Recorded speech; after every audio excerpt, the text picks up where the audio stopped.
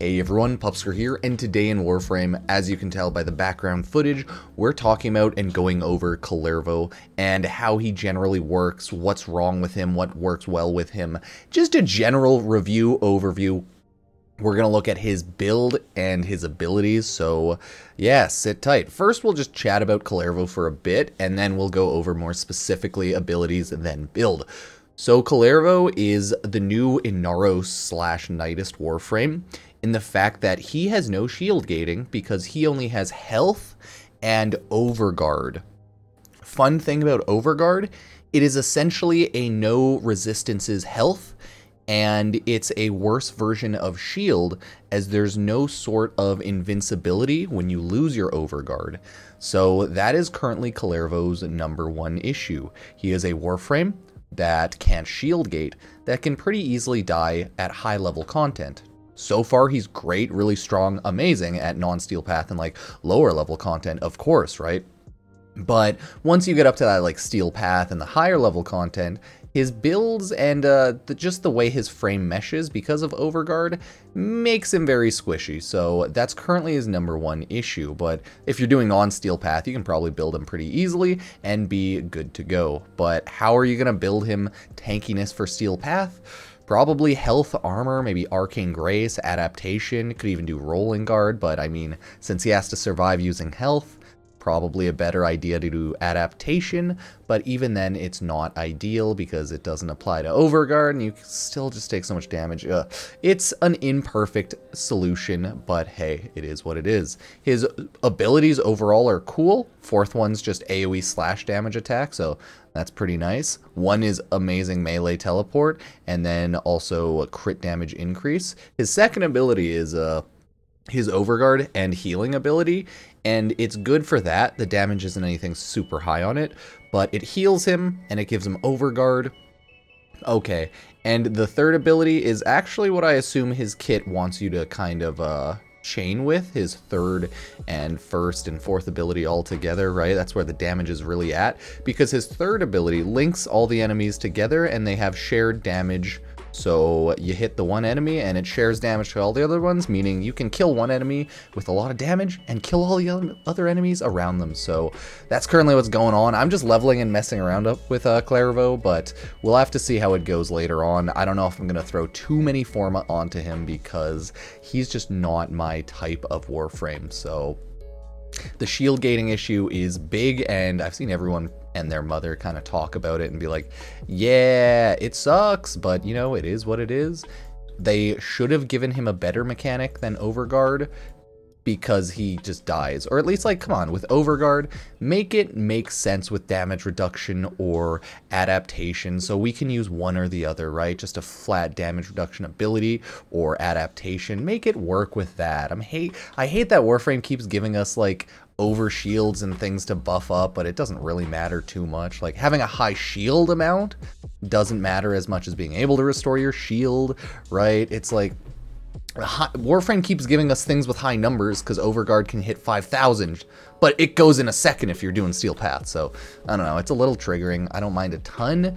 It just looks like Kullervo's not one of those frames that meant for higher Steel Path content, or single player Steel Path will be a little harder as well, but he is okay to play when you're doing Steel Path with a group because not everyone's focusing on you, so obviously it's a lot easier, right?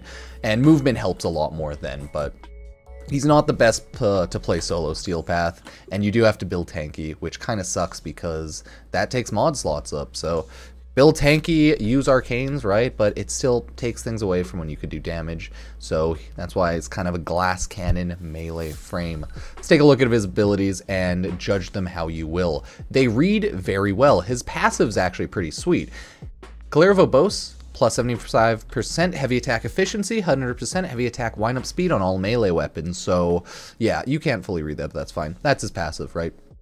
His first one is a teleport, and it also, if you tap it, is a melee attack, heavy melee attack, with a buffed increase crit chance buff, like afterwards. So you use it, and then you get an insane amount of melee crit chance afterwards as a buff, kind of makes you think like, oh yeah, no, he's definitely a melee glass cannon type Warframe. His second ability, while it has decent enough range, doesn't have a ton of range. Slash damage to enemies, heals you, and, you know, gives health drain. So overall good, gives you overguard, and your overguard caps at 5,000 without it overgoing higher, right? In theory, you read this and you're like, holy shit, that's really good. In actuality, it's like, it's a pretty good heal, and Overguard instantly goes away if you're fighting higher level enemies. But hey, recompense, great for mid lower level content. It's just, again, Steel Path and higher Steel Path kind of sucks with Overguard, but hey, it is what it is. Collective Curse, these aren't max level, so I'm not looking at the full numbers yet an amazing damage redirection ability where it hits at an angle so it can be kind of annoying, but shoot enemies in front of you with this like ability, groups them together for damage redirection, kill one, they all get hit, and they all die. It's great. That's the idea, right? In theory, pretty good.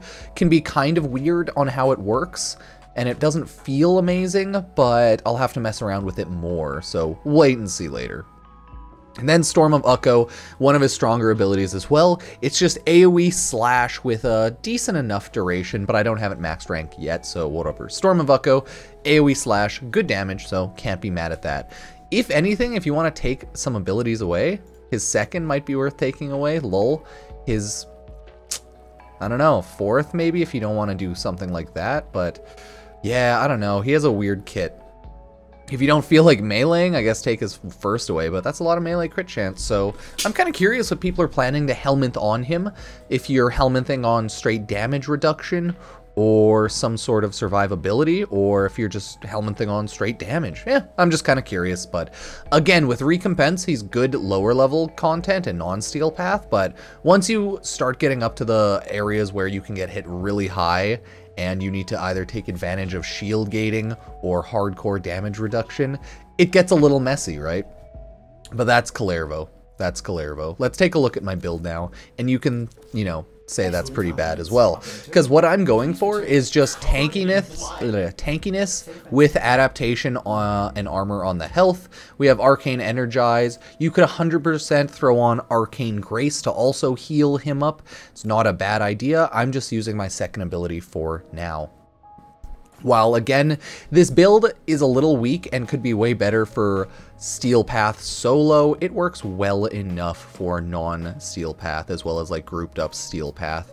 But man, I don't fully know how I feel like building him. I just think I'm going to build Kullervo, honestly, with no negatives. Like, I don't want to get any negative efficiency, range, duration, or strength. I think I'm just going to make him a really boring, tanky build like this, and throw on boring stuff like stretch, Prime Continuity, Streamline, and something else like, hey, maybe I'll throw on Prime Flow as the last thing, right? I think I'm going to make him a really boring build with Corrosive Projection there, and maybe give him some more range on his last Exilus mod slot there. Molt Augmented is there, so his range increases a lot, which really helps after we get some kills but Arcane Energize is there for energy.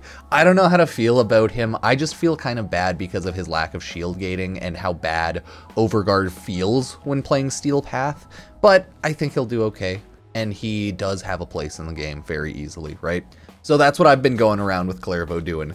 I've been leveling, and when I've been leveling and playing around non-steel path, right, I've just been shredding, right? His damage is good. It's really insane when you get some melee up, right? So that's why it's just hardcore glass cannon. I know I've been like repping on how bad and how much I hate Overguard, because like it really feels bad for me, but his damage is really, really good, okay? You have sweet heavy attack efficiency, heavy attack windup, all right? That's cool and all. So they want you to be a little heavy attack with him because of his first ability. It's a heavy attack, teleport, Helminth ability, right? It's the one that goes in the Helminth. And it gives you an insanely high critical strike chance buff. So red crits galore on that melee, build up a good combo amount, and oh my god, combo your high combo amount with your third ability and your first ability, and you're just killing everything, right? One go. Huge glass cannon capabilities in that regard. His fourth, just throw it down, and it's an area that just murders all the enemies and cuts them up good. So while he is really strong,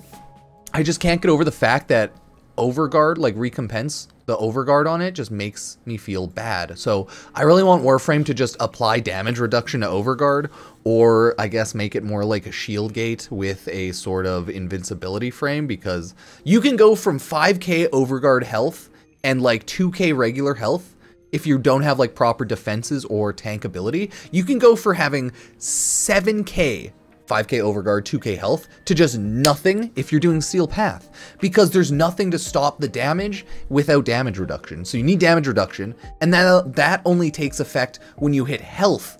So then you need more health and more armor so it can build up a little bit more, right? So I don't like how that works. You might want to do some shenanigans. I don't think quick thinking's the way to go. People are talking about that. I don't think old quick thinking's the way to go with almost anything these days. I've never been a fan of quick thinking, especially with how it works now or anything like that. So I don't like quick thinking. I tried it out, wanted to see, and uh, it's not going to go well unless you have probably like Streamline as well. So you're just putting so many resources into this frame to make him tanky so he doesn't die if you're doing like solo steel path, but yeah, there's a lot of things and a lot of shenanigans you can do. So if you really love them, you'll find a way with the Helminth for sure. Okay, turn on that uh, damage reduction, damage redirection, damage stoppage, something you can do, right? In a team, you're gonna get sweet buffs with your teammates, and the damage is all spread, so you'll have no problem, right? The buffs and the damage spread helps a lot, but Maybe he's just not the best solo Warframe. Just wait for someone to put out a solo level 9999 Steel Path build to play it if you want, but yeah, in that regard, he's a great frame. He's fun and he's awesome. Just probably not a solo Steel Path frame for someone like me who just wants to build a frame and play him. But other than that, he's pretty cool. I would just make him tanky as hell, and he might be worth throwing a couple Umbral uh, mods on, so give him that Umbral Fiber Vitality, and then Umbral Intensify, which I might do if I throw Umbral mods on him, just for lulz yeah, if you do that, you might be a lot stronger and pretty goddamn cool. But I'm just casually playing around with him because uh, Overguard's a little triggering to me, apparently. And just seeing what works and what I like with him. So, well, we'll see. We'll see if I play him more, play him less. But I think he's probably like a standard cool frame has great abilities if you're doing some stuff, and awful useless dog abilities if you're doing other stuff. So, yeah, cool glass cannon Warframe. I just wish he was tankier, because I don't like how Warframe handles damage. I guess a lot of us probably haven't liked how Warframe handles damage in a while, right? Which is like, invulnerability, stay invincible, have a ton of damage reduction, don't care about health. Apply uh, shield gates and have low amounts of shield. It's just the Warframe meta for late game type survival, solo steel path, uh, shield gating, and invulnerability survivability is just a little goofy. And yeah, but that's okay. Warframe's still pretty fun, so yeah. Kullervo, that's him. Judge it how you will. I know this is a pretty critical review, but I still think he's pretty cool. I gotta play him more though. It's been a really long day, streaming for like seven, eight hours, and I recorded like three, four, five videos, as well as like re-recorded some ad stuff. So Really tired. It's Final Fantasy 16 time soon, everyone. I can't wait. I'm going to be streaming on Twitch. I'm going to be making YouTube videos. I appreciate everyone who ever watches and comes by. Appreciate it from your boy, Pupsker, you know. Follow all the socials, Epic Games creator code Pupsker, but yeah, I'm dead tired, so I'm gonna finish making this video and then go pre-download Final Fantasy 16 and then get the fuck to bed. Cheers.